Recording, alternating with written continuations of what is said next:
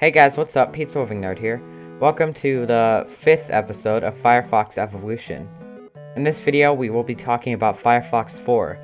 Now, I did say that Firefox 3 was the first redesign of Firefox, and I lied.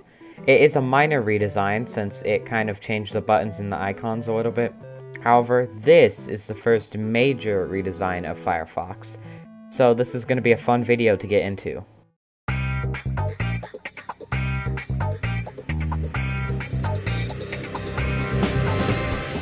So the first thing is that the tabs are above the address bar, similar to how Firefox does it today. Not only that, but uh, we also have our back and forward buttons right here.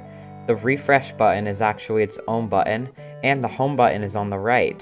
So this design of Firefox is way different compared to other designs. Another thing is this version of Firefox is way more customizable than other versions of Firefox. So uh, let's say I decide that I don't like where this home button is positioned, well I can move it over here. Or let's say I want a downloads button, boom, I got a downloads button. So uh, yeah, now you can sort of customize it a little bit. Now, uh, this is not usually what Firefox 4 looks like out of the box for most people. Instead, you would typically get something like this.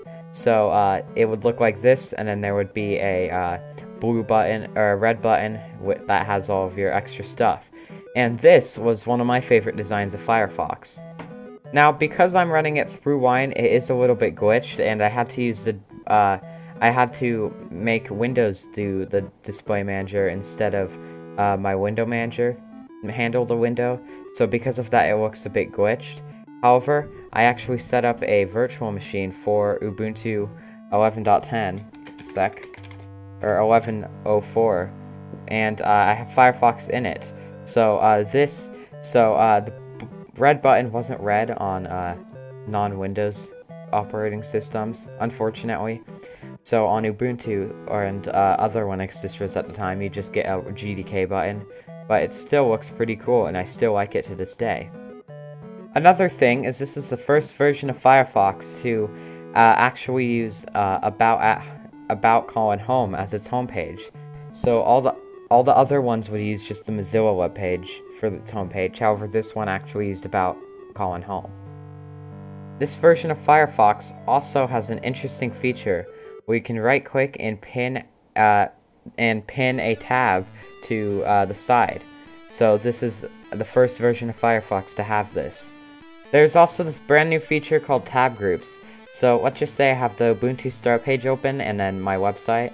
Well, I can click on the tab groups page and head over to this other tab group that has Google and YouTube. So it's a pretty cool way of being productive.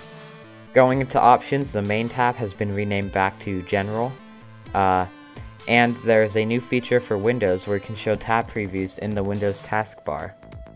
It also removed Java support out of the box, added in Do Not Track mode and uh, hardware acceleration, and this was the first version of Firefox with Firefox Sync, which allows you to sync your history, bookmarks, passwords, and open tabs through your devices.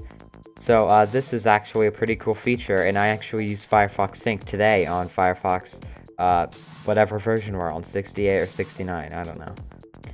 Other than that though, other than the complete redesign, I feel like uh, Firefox 3.5 actually had more in terms of features than uh, Firefox 4 did. Although Firefox 4 can load modern websites even better than Firefox 3.5 can, which is, which is a uh, big bonus. Another interesting thing is Firefox 4 was the last version of Firefox that had long times between no releases. So right now they're just cranking out Firefox versions constantly. We have 66, then we have 67, then we have 68. But back then it would always take around a year between Firefox releases. Well, uh, after Firefox 4, they went from being sort of the long releases to starting to constantly release new Firefoxes. So, yeah. Anyways, thank you for watching this video, and I'll see you in the next one.